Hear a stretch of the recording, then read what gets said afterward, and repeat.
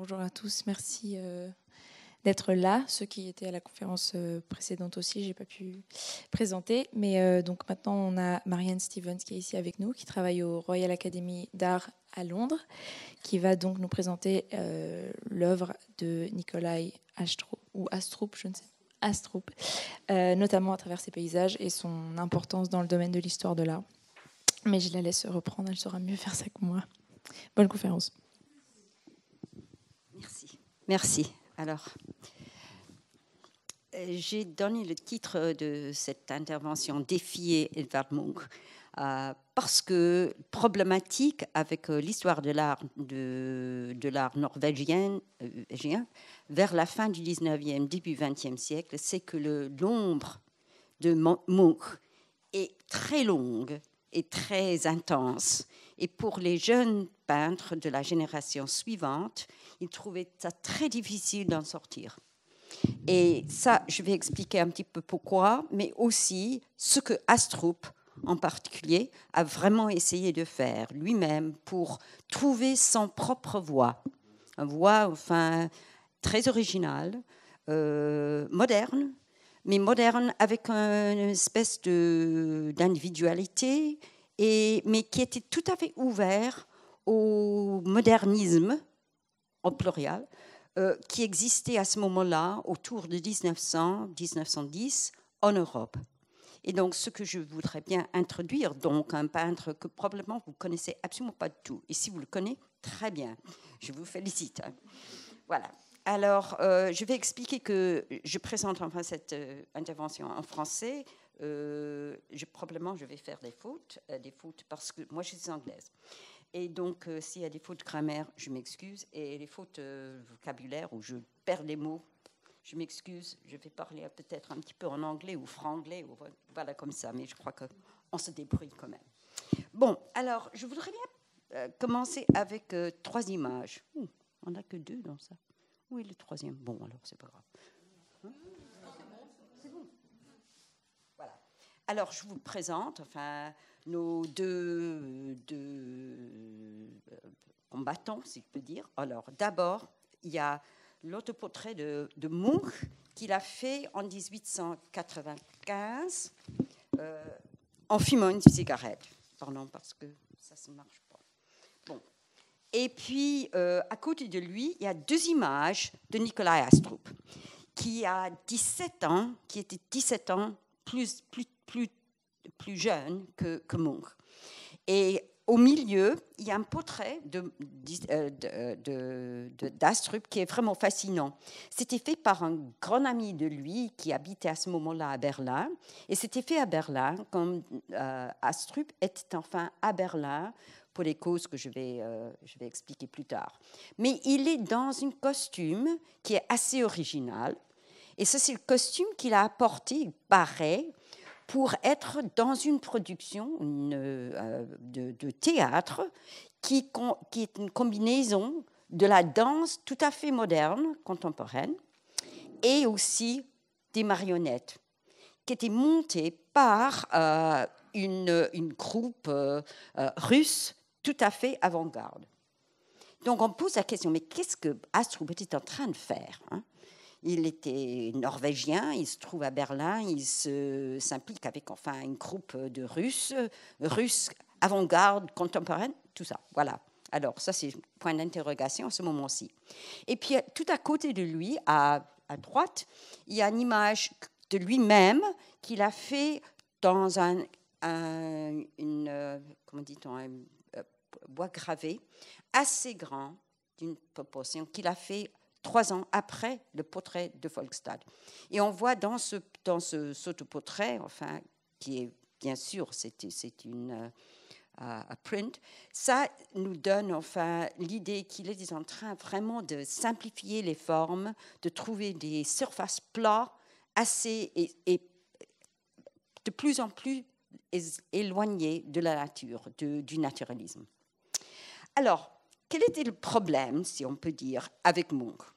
C'est tout à fait vrai que pour Astrup, qui est né, enfin, 17 ans après euh, la naissance de Munch, Munch était dès la jeunesse de, d'Astrup, était vraiment déjà un peintre très important, pas seulement en, Norvège, mais, mais, aussi en Europe. Il a pris une position de, de suprême, euh, euh, suprématie, si je peux dire, euh, à, Oslo, qui à ce moment-là s'intitulait Christiania, parce que ce n'était pas Oslo à ce moment-là. en 1886, au moment qu'il a exposé le tableau que je montre ici, c'est la fille malade. Alors ça, c'est quelque chose qui, bien que c'est un sujet qui était enfin déjà adressé par des autres peintres de, la même époque que Munch, était très important au point de vue de, le voyage que Munch va faire vers cette espèce, son espèce de, modernisme, c'est-à-dire que la facture de la, de la toile, de l'œuvre, est beaucoup plus importante. C'est c'est le matérialisme, si je peux dire, qui est vraiment très important pour, Amour à ce moment-ci. Il a gratté le, surface, il a appliqué enfin de la peinture très épaisse, mais d'autre part très très très mince. Et pour nous vraiment montrer que dans une œuvre de peinture, on a d'abord l'image, mais en même temps, aussi important, c'est les moyens de faire l'image et qu'on est vraiment, on remarque enfin le processus de faire de la peinture. Alors cette matérialité de la, du, surface est très important pour Munch et ça a continué quand il est en train vraiment d'établir une réputation hors de la Norvège. Et ça a commencé avec une grande exposition très scanduleuse qui se trouvait à Berlin en 1892. Et je vous montre enfin une photo euh, de, ce, de cette exposition euh, très importante, enfin, d'ailleurs parce qu'il était enfermé après une semaine à cause d'une cri, outrage, euh, de la part des critiques et aussi de la part des, artistes à Berlin, qui ont trouvé enfin l'art de Munch absolument insupportable.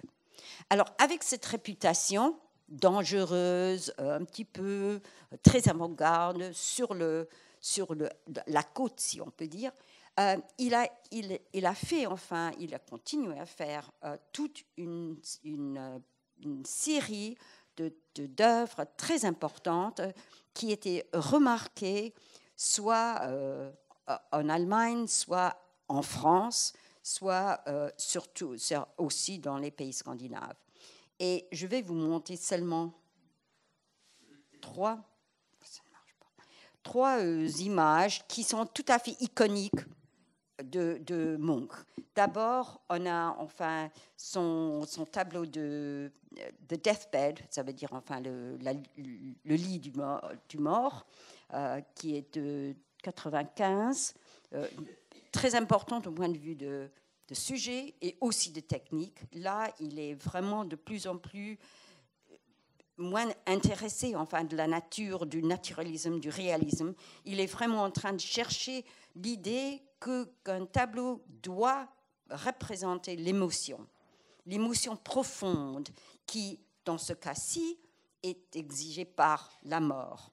Et puis au milieu, il y a euh, euh, le, le, tableau qu'il a fait en 1902 qui nous montre enfin des, femmes sur un pont ou euh, près de sa, sa, maison de la campagne à Ostrandsgård, euh, qui est aussi une image qu'il a fait en, euh, dans les, les prints. Comment ça se dit les prints ah, sorry.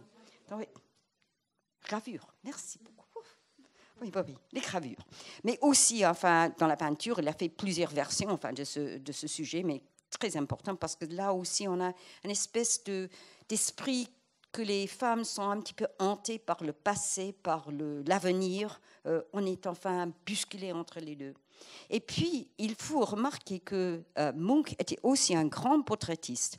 Et là, je vous présente enfin un portrait de Count Kessler, qui est un personnage très important dans l'avant-garde, soit de la peinture, soit de la gravure, soit aussi de, du livre, parce qu'il a, il a fondé enfin une, une, librairie enfin, qui s'appelle Insel Press. Et puis ensuite aussi, il était enfin le, le premier directeur de, du musée à Weimar, mais aussi du Bauhaus. Avant que le Bauhaus était enfin la propriété, si on peut dire, de Gropius à Dessau. Et voilà. Bon. Mais s'il était, enfin, bien sûr, un peintre qui était en train d'expérimenter, de trouver enfin ses moyens, les moyens proprement dits pour, euh, pour euh, déclamer, si je peux dire, hein, les émotions profondes, les, les angoisses enfin, humaines. Il était aussi euh, très innovatif, comme probablement vous savez très bien, au point de vue des, de la gravure. Et je vais vous montrer juste une petite sélection parce que les gravures sont aussi très importantes pour Astrup. Et donc, il faut comprendre ce que Munch est en train de faire pour comprendre comment Astrup a trouvé enfin les moyens parallèles, mais aussi forts pour présenter les gravures. Alors d'abord, euh, je vous présente enfin, trois exemples de son œuvre euh, comme euh, avec la, pointe sèche et le roulette, pointe sèche, aquatinte, et aussi euh, pointe sèche, euh, non, c'est le pointe sèche et aquatinte avec euh, coloré à la main. Et ça, c'est assez normal. Il a ajouté enfin de la couleur au-dessus de, la, la, planche gravée. Et puis, il était aussi lithographe, et lithographe vraiment d'une grande qualité et là est aussi très expérimental. Il utilisait de la craie, de l'encre, et vraiment pour faire des, impressions absolument surprenantes, euh, comme par exemple l'autoportrait avec le, avec, euh, le bras en, squelette. Euh, de 1880, non, 1900, 1885, 15, pardon, je m'excuse. Et puis, enfin, le fameux Madone, qui est très bien connu, mais en blanc et noir, mais aussi en couleur, parce qu'il a, il a changé enfin, tout le temps entre les deux. Et puis ensuite, On the Bridge, c'est sur le pont, qui est enfin varié, c'est, une variation sur euh, le, tableau de, des femmes sur le pont. Et ici, on, se trouve euh, Munch comme lithographe, mais lithographe en couleur. Donc il était enfin absolument parallèle avec ce qui s'est passé à Paris, en même temps avec enfin lithographie en couleur des nabis de Toulouse-Lautrec, etc. Mais aussi, et très importante, il était aussi graveur de, euh, il a gravé enfin les, du bois. Et voilà, là aussi, très expérimental, il a utilisé, il a appliqué enfin les, les planches, plusieurs planches de plusieurs couleurs, comme par, exemple la planche euh, à, gauche qui s'appelle enfin euh, euh, Claire de Lune. Voilà, en 1896, ou bien le baiser, très important, je reviens sur ça dans un instant, et puis les femmes au bord de la mer à, droite. Vous allez remarquer dans ces trois gravures que on regarde toujours, on a toujours l'existence très pertinente de la forme de la planche elle-même. Et ça, c'est quelque chose qui lui donne, qui donne enfin à chaque gravure une espèce de, de texture, de, de, substance qui est vraiment très importante et qu'il garde tout le temps dans ses, dans ses estampes. Alors, pour euh, Astrup, il y a plus de de, choix dans ce cas-là, mais quand même, et très importante, c'est Astrup qui était euh, oh, presque toujours, il était enfin euh, quelque chose qui a gravé sur bois, qui a fait ses planches sur bois à la style ou à la méthode, euh, japonaise. Et ça aussi, c'est très important. Voilà. Alors, et voilà Astrup c'est pas exactement, la même chose que, que, euh. Mais aussi important parce que je vous montre enfin trois images basées sur le même motif. Ça c'est Midsummer Eve Bonfire, ça c'est euh, les feux de Saint-Jean, euh, qui en Norvège avait aussi une autre modalité qui est, qui est modalité pré-chrétien. Alors là, on a une un tableau qui date de. c'est marqué là? Oui, bon, il y a une date. Bon, très bien. Et puis ensuite, je vais vous montrer enfin deux estampes qu'il a fait. Ce sont des gravures sur bois. Un, blanc et noir, très intéressant parce que c'est presque abstrait au point de vue de, du motif. Et puis, autre version en couleur en bas. Alors, qui était Astrup?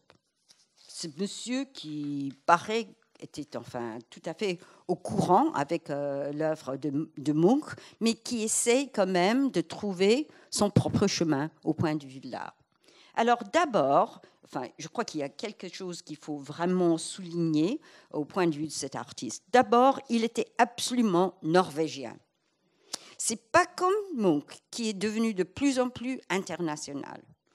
Et ça se voit au point de vue de d'Astrup, d'abord avec son, sa décision au moment qu'il est rentré en Norvège à la fin de ses études à Paris et ailleurs en Europe, de ne pas rester à Oslo ou à Christiania, qui était à ce moment-là le centre pour l'art, enfin la production de l'art, les galeries, les expositions, tout ça en Norvège à ce moment-là, mais de rentrer chez lui.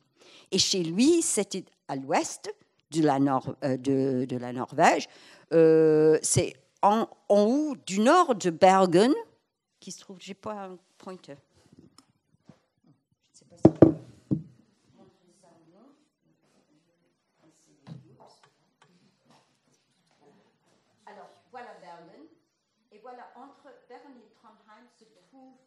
La région de Dastrup.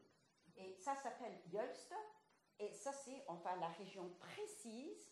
Il, était, euh, il a passé toute son enfance à Aarhus, où son père était euh, pasteur, il était lutrin, euh, il était pasteur de Aarhus, et puis après 2000, 2011, il, il va de l'autre côté de cette, ce lac qui est presque comme un fjord, avec enfin des très, très précis, enfin, de chaque côté. Et voilà, il s'installait à Sandal, enfin près de Sandal, à une petite ferme qui s'appelait euh, Sandalstrand. Alors ça, c'était le monde d'Astrup. Il est resté là pendant toute sa vie. Il a, il a voyagé beaucoup, mais il est resté là. Et puis, et parce qu'il était là, il, a pris la décision non seulement de rentrer chez lui, mais aussi de de faire du paysage de ce, ce quartier, cette région en Norvège, euh, d'être le sujet de toute son œuvre. Alors, on voit par exemple dans ses œuvres assez tôt de sa carrière, euh, comme les deux que je présente ici, euh, l'un à gauche nous montre enfin le paysage juste derrière la maison et le, jardin, la petite propriété et l'église de son père.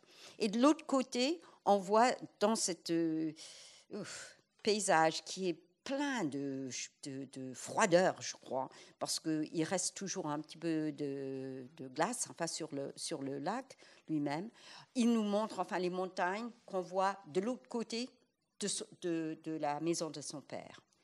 Et puis plus tard, quand il s'est déplacé, de se déménager pour euh, euh, arriver sur le côté sud du lac Jolster, euh, à Sandalstrand, il a fait exactement la même chose. Il nous présente des images de son... C'était son paysage, c'était son paysage culturel, artistique, tout à fait créatif en même temps. Alors, je vous présente deux.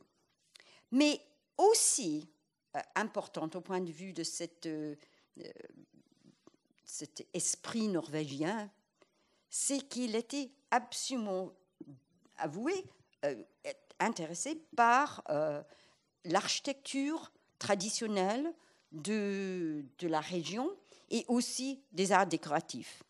Et donc, dans sa ferme à Sandalstrand, il a accumulé six maisons petite maison très traditionnelle du XVIIe et XVIIIe pour faire de sa maison sa propre maison.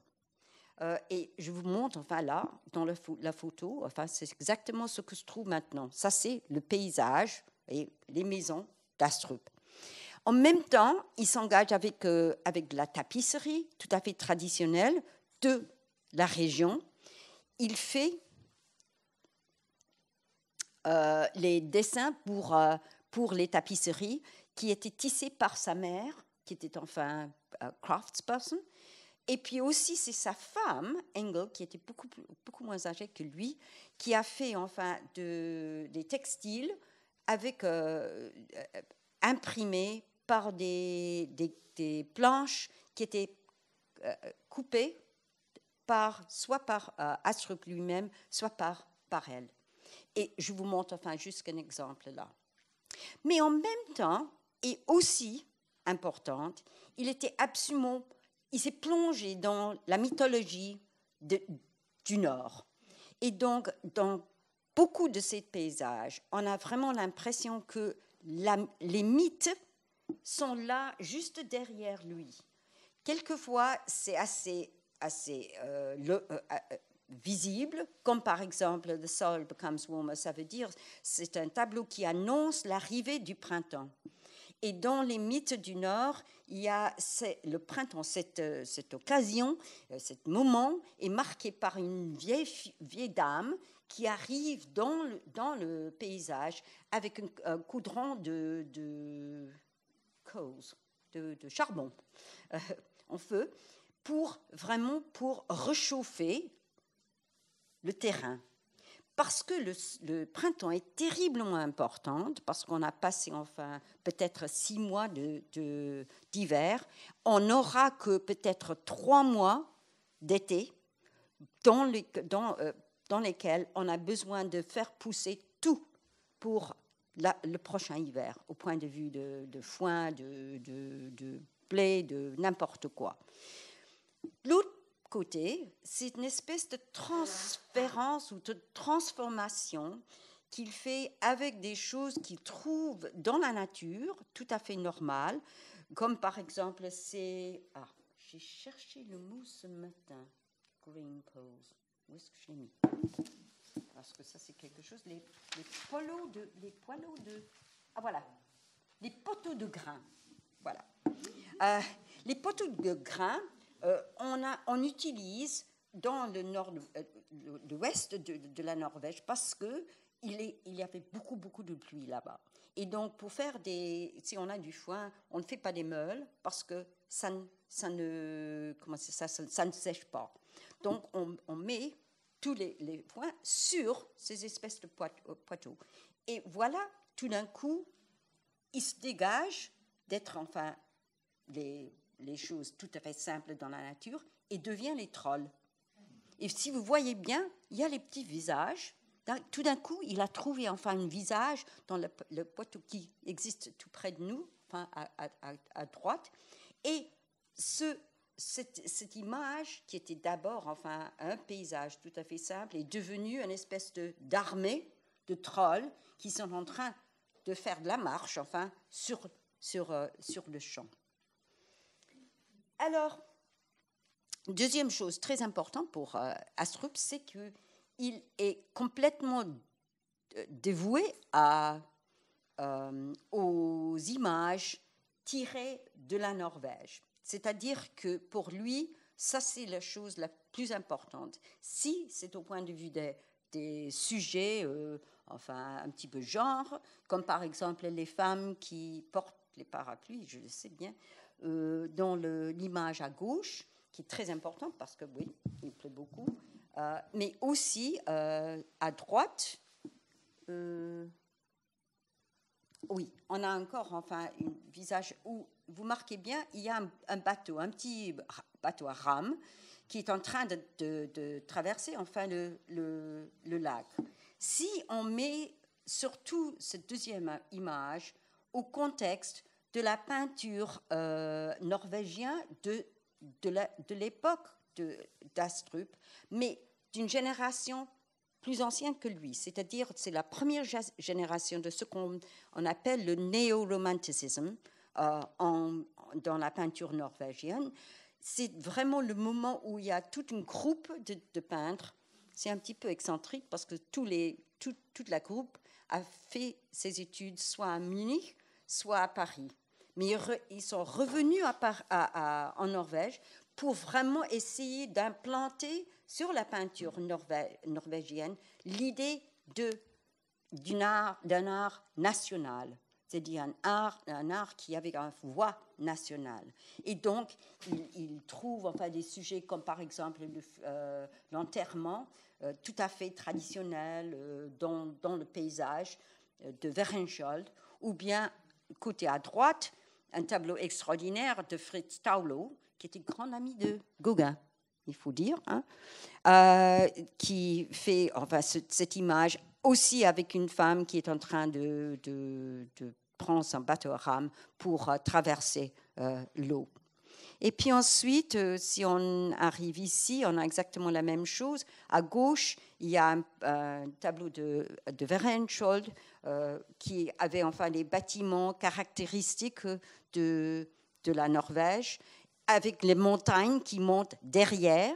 Et par Astrup, on a un tableau qui s'appelle Cottage Farm, ça veut dire enfin une ferme euh, des petits, des petites fermiers, euh, aussi basé sur, euh, sur le paysage, sur la terre, avec une grande montagne qui monte derrière.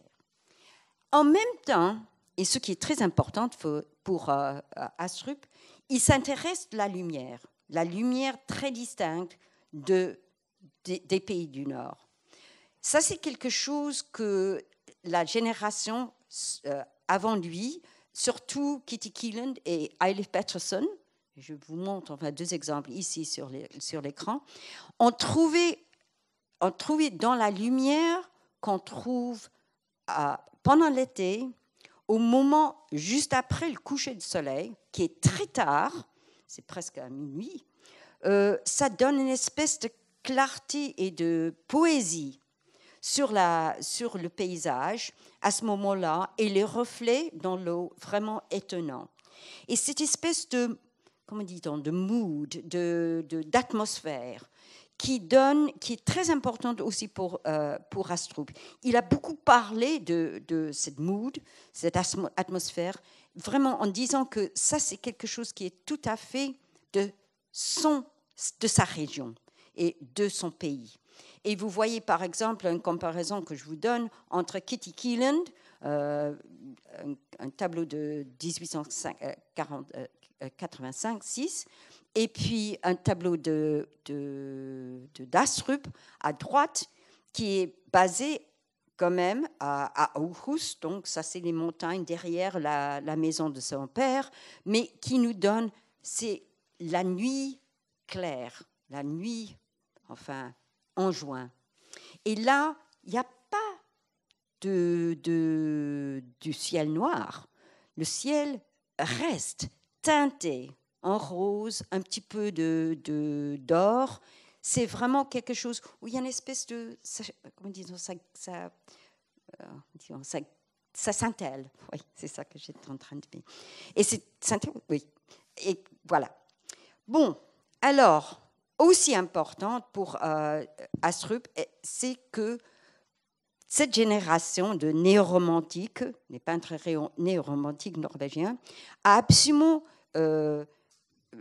pris euh, connaissance du fait que Astrup, avec un autre peintre, Harold Solberg, étaient vraiment les deux jeunes peintres qui étaient enfin la deuxième génération de cette école norvégienne, tout à fait moderne. Et donc, euh, Astrup et Solberg, de temps en temps, étaient inclus dans les expositions qui exportaient à ce moment-là l'art norvégien en Europe. Donc, par exemple, les deux tableaux que je vous montre ici euh, se trouvaient dans une exposition qui a eu lieu à Copenhague en 1906.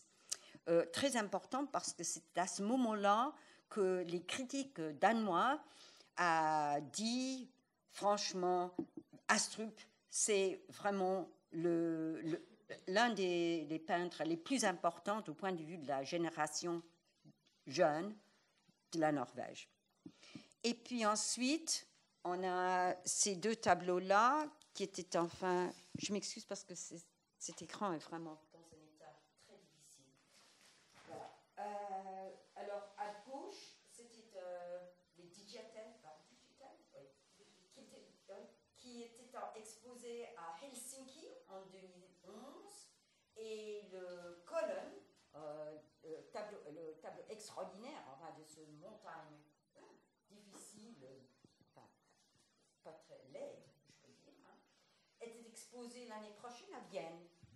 Et puis ensuite, en 2014, on trouve euh, euh, Asrup qui prend place euh, centrale euh, dans une exposition très importante qui a eu lieu à Christiania pour célébrer le jubiléum de, de, la fondation de, Nord, de, la, Nord, de la Norvège. Et puis ensuite, et voilà, il y a les quatre tableaux qu'il a exposés là, qui, qui est dans le détail à, droite. Et puis ensuite, ça ne se termine pas là. Euh, il a aussi exposé en 1915 euh, à, Gothenburg et aussi à, Copenhague ces deux tableaux ici.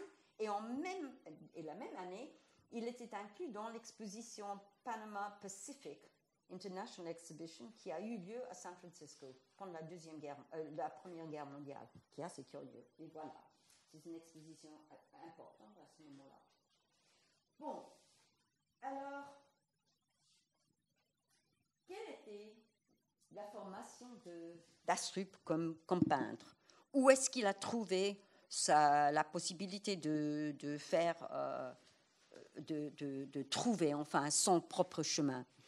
Alors d'abord, il a voyagé. Il a voyagé beaucoup, beaucoup plus que tout le monde pensait. Euh, traditionnellement, les historiens d'art en Norvège a toujours dit oh, bon, il est resté toujours à, à il était un petit peu isolé là-bas, il n'aimait pas voyager, etc. etc. C'est pas vrai. On le trouve d'abord euh, à Paris entre 1901 et 1902 où il apprend enfin de la peinture chez Christian Krog, qui a commencé à, enseigner au, un des deux, des deux grands ateliers libres à Paris à ce moment-là, l'atelier euh, Colorossi. Et je vous présente enfin deux tableaux de Krog pour vous donner enfin l'idée de ce qui, qui était intéressant pour, euh, au point de vue d'Astrup. Et juste avant d'arriver à Paris en 1901, euh, Astrup a fait un grand voyage autour de, de, l'Allemagne et il a fait, d'abord, il a trouvé enfin, bon, bien sûr, enfin, euh, l'art des, des, vieux maîtres qu'il n'aimait pas. Euh, sauf Hals, Franz Hals, qu'il a trouvé enfin Hals à Hambourg, mais hors de cela, même la richesse des collections à Berlin, qu'il a visité, et aussi à Dresde, et aussi à Munich, tous les trois, il, il, a visité, ça ne lui intéresse pas. Il était sur le chemin de chercher les tableaux de Böcklin. Böcklin un peintre suisse très important pour la, la, jeune génération autour de 1900. Je crois parce que il était un symboliste, mais un symboliste très euh, calme, très doux, très à l'arrière, si je peux dire. Hein. C'est quelqu'un qui aussi simplifie euh, la nature, euh, les paysages, euh, quand on voit dans ces deux, tableaux-là, et aussi pour Astrup, qui nous a noté, enfin l'intérêt qu'il a eu à, dans l'œuvre de Barclay, c'était les couleurs, les variétés des verts, les variétés des jaunes, des oranges, etc. C'est une espèce de palette très riche et très importante pour lui. Mais ça, ne se termine pas à ce moment-là. Il est venu à Londres en 1808, 1908. Euh, il paraît, c'était un petit peu point d'interrogation pourquoi, mais euh, il avait deux amis qui étaient allés à, Londres en 1907. Ils ont écrit à, à en disant vraiment c'est très intéressant ce qui se passe à Londres. Euh, on ne sait pas si Astrup a visité les galeries où se présentait euh, l'art moderne, euh, l'art contemporain de ce moment-là.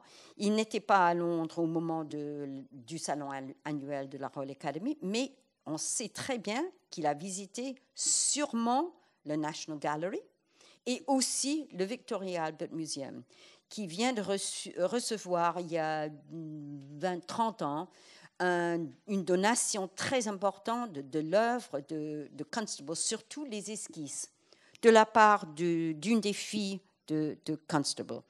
Et il note dans une, lettre qu'il écrit enfin à, une amie en Norvège, qu'il il note les esquisses en particulier qu'il a vraiment étudiées de près. Il donne les descriptions qui sont absolument merveilleuses et on peut absolument euh, trouver chaque exemple par ces, mots.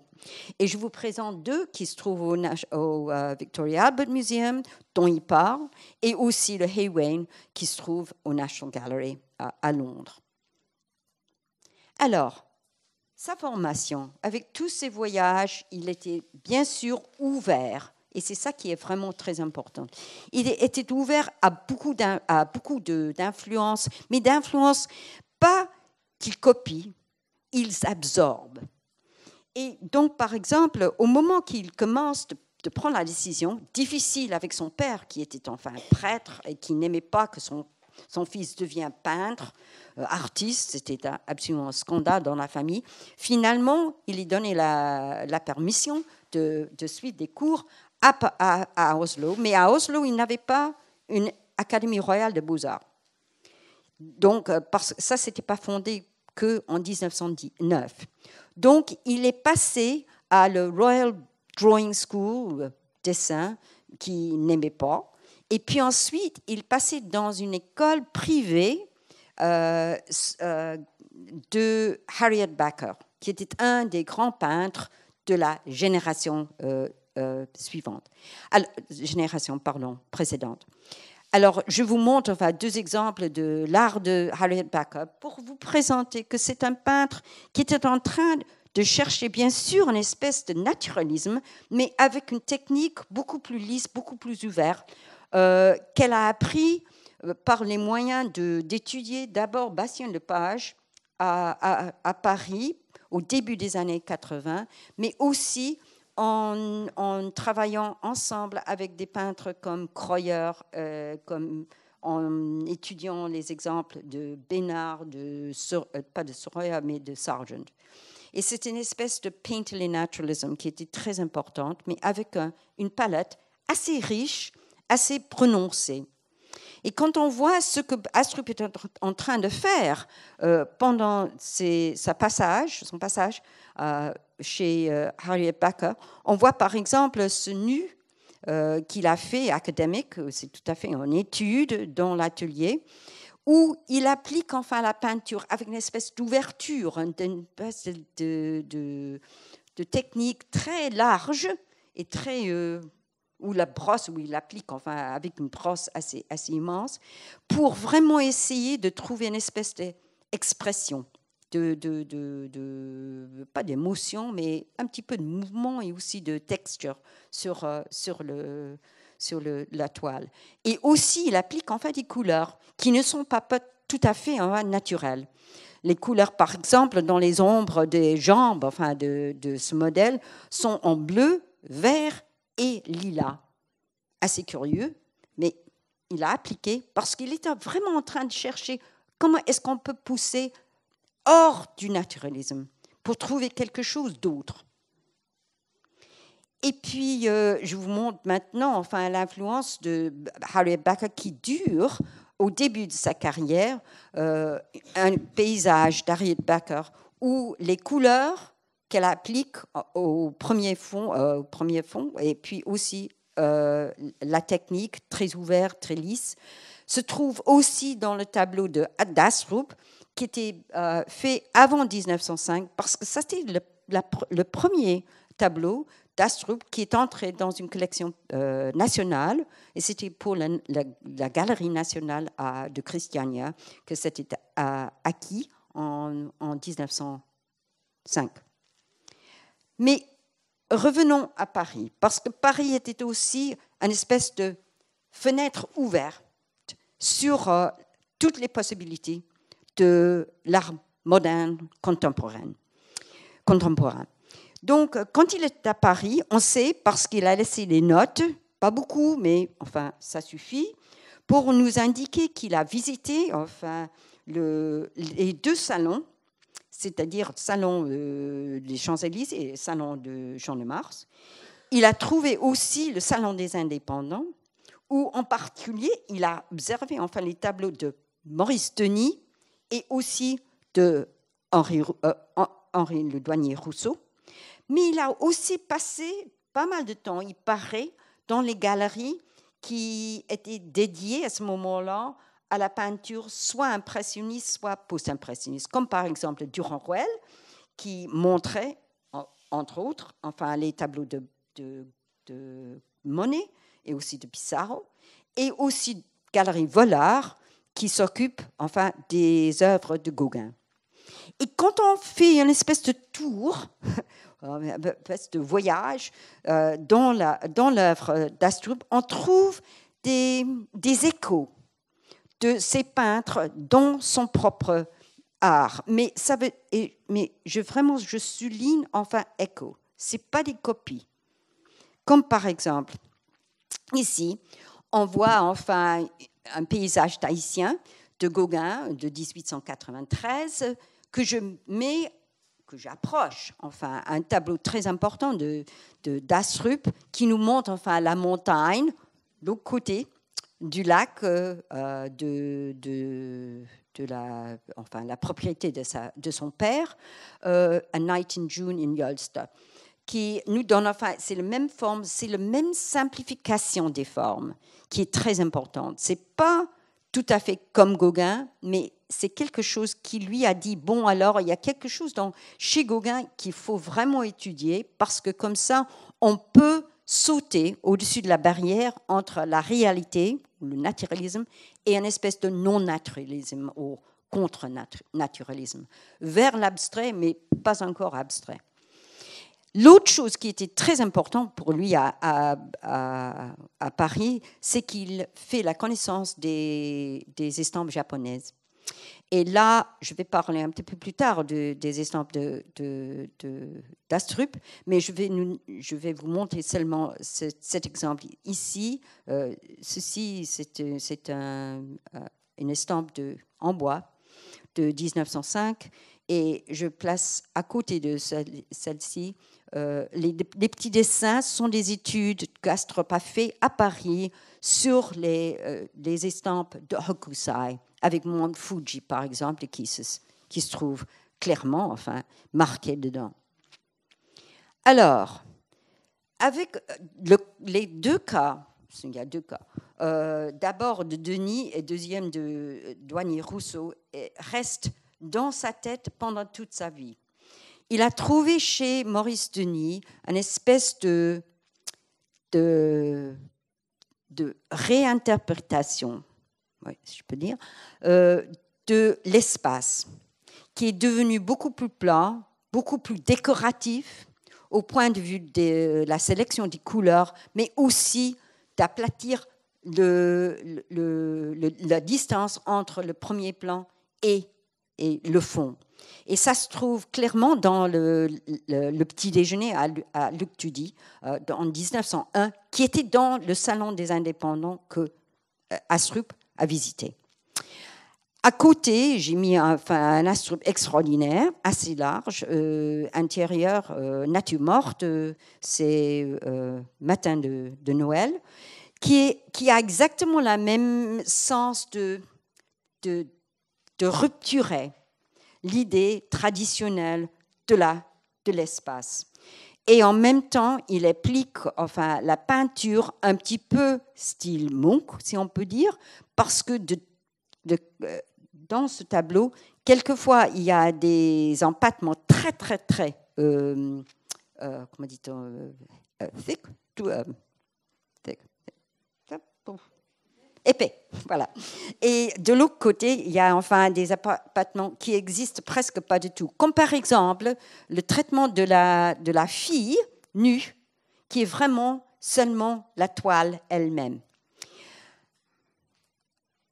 Quant à Henri Rousseau, le douanier Rousseau, c'est exactement la même chose. Là, c'est une espèce de primitivisme, de simplification, de assez radical pour arriver à une certaine essence de, de, la scène euh, reproduite ou capturée sur, euh, sur euh, la toile. Et ça, par exemple, on voit d'abord avec la simplification des personnages qui se trouvent dans le tableau d'Astrup, c'est la journée de la funéraille à, à qui sont absolument comme les petits personnages de, de, Douanier Rousseau. Mais la deuxième chose qui était très importante pour Astrup, c'est qu'il a, reconnu dans l'art de Rousseau que Rousseau ne s'intéresse pas à une perspective traditionnelle. Il n'y a pas d'aérial perspective, il n'y a pas de linéaire perspective, il n'y a rien. Ce qui se passe jusqu'au fond, ça pourrait être aussi clair que ce qui se passe au premier fond. Donc ça, c'est vraiment premier plan. C'est quelque chose de très important pour lui parce que lui aussi, il a, fait la connaissance enfin, de l'atmosphère très, très euh, spéciale de, en, Norvège. Et puis, ça, c'est pas la fin. Parce que au moment qu'il a eu une crise euh, artistique, euh, de confiance personnelle, en 1911, il a eu une exposition à, Christiania. Euh, c'est une espèce de mini rétrospective euh, qui présente son œuvre depuis le début de, des 1900 jusqu'à 1911. Les critiques étaient euh, loués énormément enfin, les premiers tableaux de son œuvre, enfin, jusqu'à 1907-1908. Mais avec les, dernières euh, trois années de son, de son production, ils ont trouvé ça un petit peu moche. Ils n'aimaient pas. Et euh, Astrup était vraiment très déçu. Il a pris la décision de faire un voyage. Il laisse sa, femme enfin, à, à et il va à Berlin c'est à ce moment-là qu'il se tombait sur cette troupe euh, dramatique euh, russe que dont j'ai déjà parlé. Et quand il était à Berlin, il, s'est décidé de euh, d'avoir enfin une deuxième formation au point de vue de l'art. Il est entré dans un, un atelier privé où se trouve Lovis Corinth un des artistes très importants à Berlin à ce moment-là. Et en même temps, Lovis Corinth était aussi euh, exposé aussi à Berlin Sensation euh, en 2011 avec le tableau que je vous présente, enfin là à gauche, oh, à gauche, euh, assez révolutionnaire révolutionnaire, assez euh, difficile à comprendre, enfin à accepter, pas comprendre, mais à accepter par les critiques euh, berlinoises. Et puis aussi, un autre peintre aussi important était Slevort. Et Slevort aussi a exposé au euh, Berliner, Berlin Sensation en 1911. Et ça aussi, je crois que Astrup a pensé, bon alors, il faut que je change un petit peu mon style, je ne sais pas dans quelle direction j'y vais, mais il y a ces deux modèles que peut-être ça peut me donner enfin un petit peu de courage. Et quand on voit, par exemple, les tableaux que, que Astrup a fait après son retour à, à euh, mi-1911, euh, on voit très bien que euh, la marque de l'excentricité du perspective de, de Corinth, par exemple, dans ses paysages, était absolument appris et appliqué par Astrup. Et puis ensuite, on arrive à, Kandinsky, qui est plus exceptionnel parce que euh, Astrup a fait la connaissance de, de l'œuvre de, de, Kandinsky de la part de quelques journaux qu'il a eus, qu'il reçoit, même à Ulster. Et il a pris la décision en, 2010, en 2018 de faire un voyage à Munich pour faire la connaissance de Kandinsky. Parce qu'il s'intéresse énormément dans l'abstraction de Kandinsky et de ses amis. Et on pose la question, euh, mais on ne voit pas de Kandinsky dans l'œuvre de... un petit peu. On voit là, ça c'est un, une comparaison, c'est pas exactement précise, mais ça donne enfin l'idée de monumentalité et aussi cette espèce de, de, de poussée vers une espèce de non-naturalisme, si je peux dire. Et, faut que je note. Et puis ensuite, on arrive juste à un certain, à un certain bout pour vous dire que pour Astrup, il était vraiment quelqu'un qui a trouvé sa voix très spéciale et très individuelle. C'est absolument au contraste avec, par exemple, trois peintres de presque de son, sa génération. Verenschold, quand on voit un tableau de Verenschold, on dit, comme, enfin, ce tableau-ci fait après 1900, on dit, ah, ça c'est quelqu'un qui a fait des études de Van Gogh, un petit peu de Cézanne, voilà, un mélange entre les deux. Et avec Erickson, c'est un petit peu Cézanne et c'est un, peu, un petit peu Bonnard. Et avec Heiberg, c'est plutôt Matisse. Il est élève de Matisse. Mais pour Astrup, c'était jamais, jamais ce fait. C'est vraiment quelque chose où on arrive à, une personnalité très personnelle, très exacte, très précise, mais tout à fait individuelle. Euh, oui, j'arrête là, parce qu'on est